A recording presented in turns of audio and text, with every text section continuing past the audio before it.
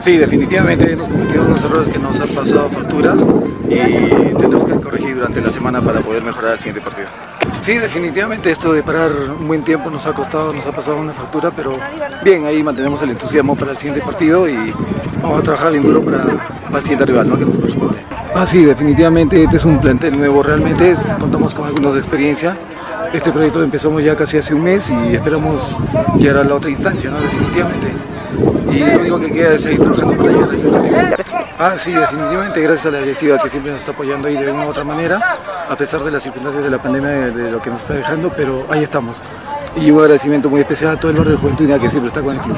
Lo hemos visto bastante eufórica. Usted y a los muchachos que estaban en la banca, sobre todo, algunas ocasiones que se fallaron. Sí, definitivamente, pero estos partidos a veces se tiene que jugar como una final, ¿no?